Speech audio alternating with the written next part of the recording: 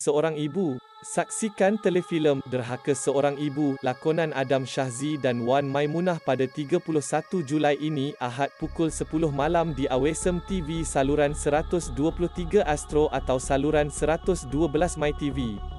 Pengarah Hashim Rejab, produksi Tune Production Sendirian Berhad.